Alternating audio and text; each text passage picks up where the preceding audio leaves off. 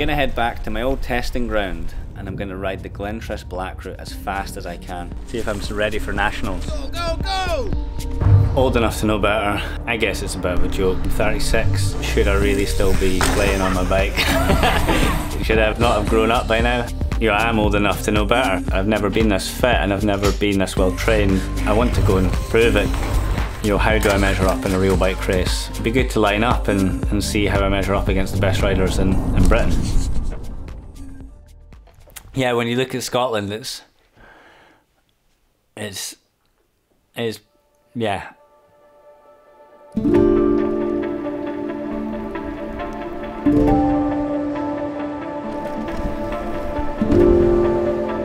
It kind of outperforms what you expect it should do as a nation. So much talent, you know, world titles, rainbow bands, and then you've got amazing organisations and athletes and events, and it's for such a small country.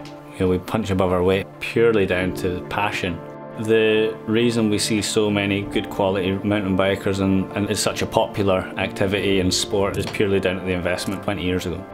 It's not a coincidence that the best riders in Scotland live close to Tweed Valley or Nevis Range, Fort William. It's taught by doing from a young age and it's just so simple.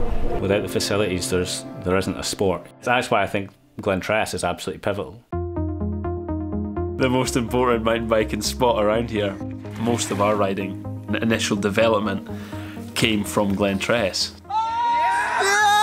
From my understanding, after Foot and Mouth, there was a, a, kind of deliberate effort to kind of get people back out into rural areas, and Glentress has to be like the, the flagship destination and you know the big success story out of that.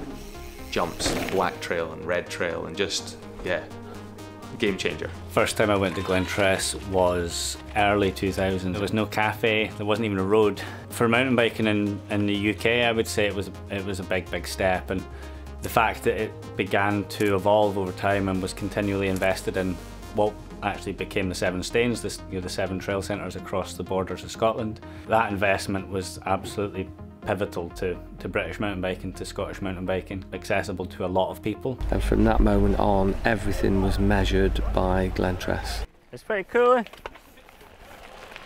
What a place. Teenage kicks at Glentress. What a place. This is where everyone learn to jump.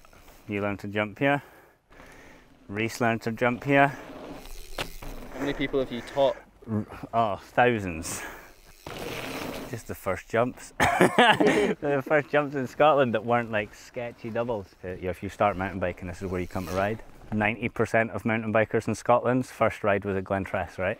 Yeah, this is the this is the place that gets people hooked in, and then before you know it, it's 21 years later, and you're still flipping doing it and I used to come here every week, maybe twice a week, ride a lap of the red just as fast as we could, like just rip up, rip back down. And then as soon as the black route opened, it was like, no more red route, we don't care about the red route, let's go ride the black route. You know, if you're training for XC and you want to come and like check, it's like you check your form here, see how, how fit you are, you go rip a lap of the black. It's always a good tester. Climbs up, descends, up, descends, up, descends. It kind of, it's almost like an XC race.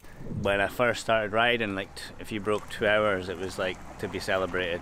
It's recommended to take three to five hours. And my KOM, which I set in 2014, is 122.54 KOM, personal record but the bike's better. I think I'm better. I, I, set the 122 in 2014, which is the last year I did World Cup. Yeah, it'd be a good test. See where I'm at. See if I'm ready for nationals. It's great to track power outputs and fitness and fitness tests on the indoor trainer, but as you're beginning to transfer that fitness to sport and, and the event that you're targeting, it's great to have a more specific field test, like riding the Glentress Black Route as fast as possible focusing on something that you can actually improve. If you're not focusing on the outcome, what are you focusing on?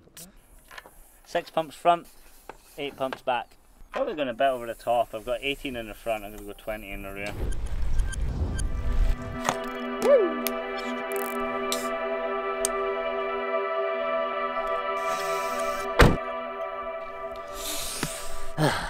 Ready? I'm ready. And press the start button.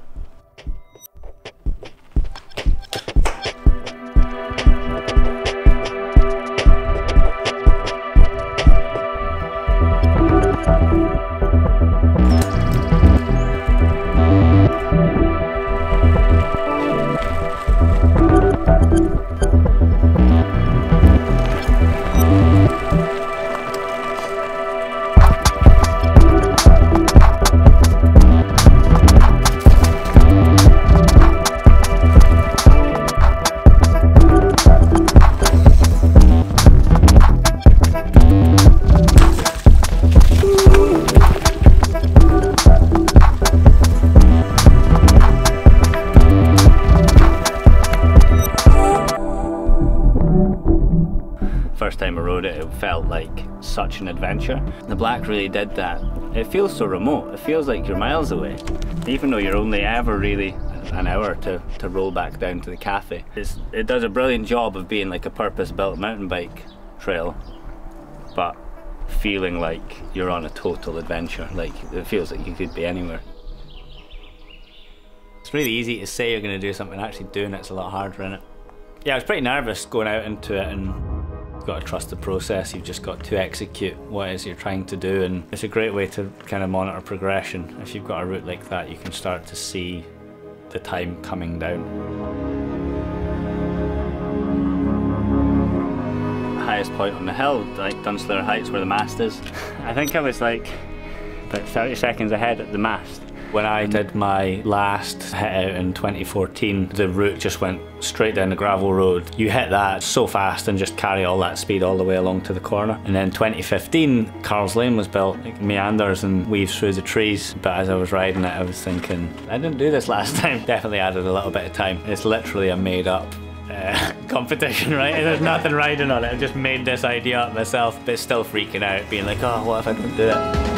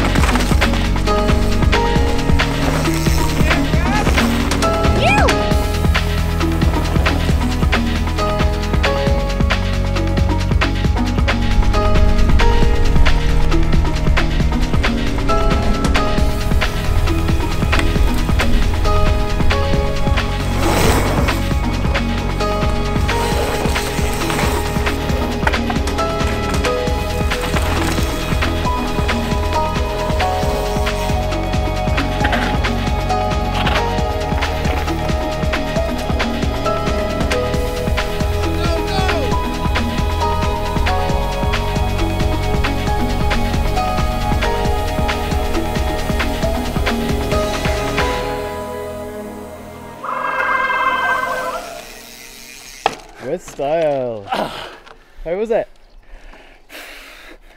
Good. I said I've got 14 metres still to go. Go, go, go, go. go, go, go.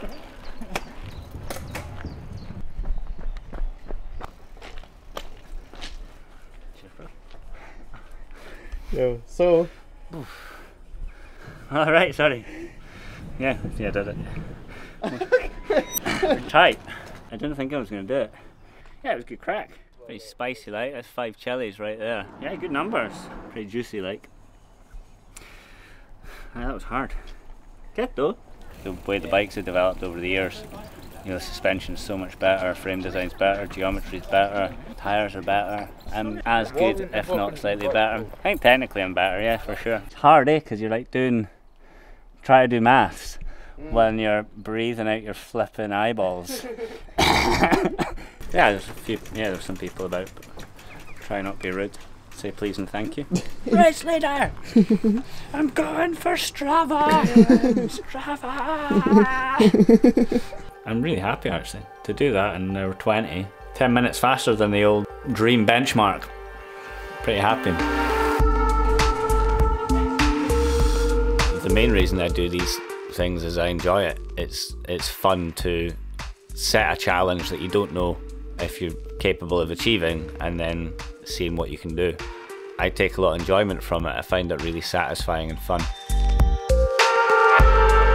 Unless you enjoy it and you relax, then what's the point? It's finding that nice balance, really. And sometimes when you see youngsters out on pure road climbs or gravel roads doing these intervals, they think that that's what they have to do, and it's it's kind of horrible, and it can be soul destroying, and it can make you. If you don't enjoy it, some people love it, and that's fine. But if you don't love it, it doesn't matter. There's a way of disguising it into your training, and you know you can make the efforts work for you and make you happy and make you enjoy them. Uh, it shouldn't only just be painful. Disguise the pain. It's a hard sport. It's there's no getting away from it. It's a tough sport, and Rab's gained a huge amount of experience from his coaching and, and training other people, I think, and his own experience. And it's great that he's motivated to apply that to himself at the minute. He's, he's a very capable rider, and I think he just sort of got bored too easily, you know? Do it because it makes your brain better. Kid will say, can you do a backflip? they just ask you if you can do a front flip next. Oh my god! Incredible! Jesus. Free ride, baby. Funny nickname for this place is the danger zone. The box jump at the bottom. I think, you know, 90% of mountain bikers started mountain biking here. I think 90% of the accidents at Glentress happen on that box. Unfortunately, there's a, yeah, there's an ambulance called there pretty regularly, but uh, that's why it's called the danger zone. The danger zone.